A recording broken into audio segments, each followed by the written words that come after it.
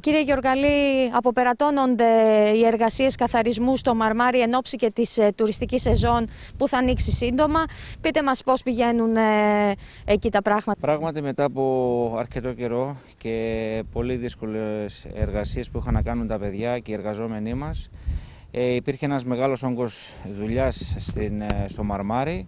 Ε, η εικόνα νομίζω ότι είναι πλέον τελείως διαφορετική και αυτό μας το μεταφέρουν και οι συμπολίτες που μένουν εκεί, οι μόνιμοι κάτοικοι, αλλά και οι επαγγελματίες της περιοχής που έχουν δει αυτές τις μέρες η εικόνα στο Μαρμάρι να αλλάζει. Ε, και θέλω να ευχαριστήσω θερμά για ακόμα μια φορά το προσωπικό του Δήμου μας που καταβάλει όλες τις προσπάθειες. Ε, Αναφερόμαστε σε εργασίες κλαδέματος και καθαρισμών από χόρτα, από ξερά χόρτα κτλ. Ναι, ήταν η αποψήλωση χόρτων και ήταν και ο ευπρεβιασμό που έπρεπε να γίνει κάποια κλαδέματα στα επικάλυπτα τα οποία είχαν μεγαλώσει. Ήταν πολύ άσχημη εικόνα, αλλά όπως είδατε και σήμερα είναι μια τελείως διαφορετική εικόνα. Ε, τώρα πλέον εμείς ε, συνεχίζουμε με την αποψήλωση των χόρτων. Περιμετρικά πρέπει να σας πω ότι εδώ και έξι μέρες στην κοινότητα Πηλίου και στο, στο Λινοπότη όπου βρίσκεται και το μηχάνημα, το χορτοκοπτικό, το RAM, το οποίο κόβει χόρτα σε όλες τις περιοχές. Έχει τελειώσει από την Τετάρτη και σήμερα, πέμπτη, και σήμερα έχει ξεκινήσει στην περιοχή στο Κονιαριό μεταξύ Αμανιού και Λαγούδι, ε, ε, Μινιέρα, ε, ο δρόμος για τις τροφές από τα Σφενδιού. Γίνεται εκτεταμένες εργασίες δηλαδή και με ένα άλλο συνεργείο το οποίο προχωράει μπροστά με το μηχανήματα έργου. Ε, νομίζω ότι είμαστε σε ένα πολύ καλό δρόμο και αν υπολογίσουμε και την κατάσταση που επικρατεί και συνεχίζουμε.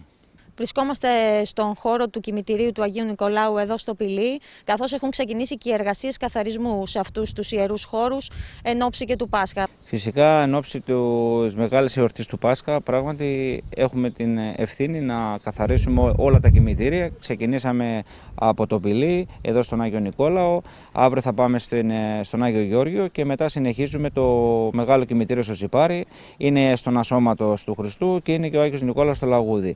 Ε, και τις υπόλοιπες ημέρες θα συνεχίσουμε περιμετρικά των εκκλησιών που πρέπει να γίνει και εκεί ένας καλοπισμός, ένας καθαρισμός για να μπορέσουμε να είμαστε έτσι τη μεγαλοβδομάδα ακόμα καλύτερα και σε θέμα καθαριότητας και από ψήλωση χόρτων να έχουν φύγει εκεί ώστε να καθαριστούν οι χώροι. Έργα αποκατάστασης ηλεκτροφωτισμού ε, στην ευρύτερη περιοχή της Δημοτικής Ενότητας Δικαίου, σημαντική παρέμβαση. Πείτε μας ε, μερικές λεπτομέρειες. Ναι, πρέπει να σας πω ότι αυτή την περίοδο τυχαίνει έτσι βάσει της εμπειρίας μου ε, να σας πω ότι λόγω του χειμώνα ε, οι λαμπτήρες και τα φωτιστικά ε, από τους ανέμους, από τις κακές καιρικές συνθήκες σπάνε, δημιουργούνται βραχικυκλώματα, καίγονται οι λάμπες και είναι μια περίοδος που από το Μάρτιο και μετά ε, κάνουμε μια πλήρη καταγραφή.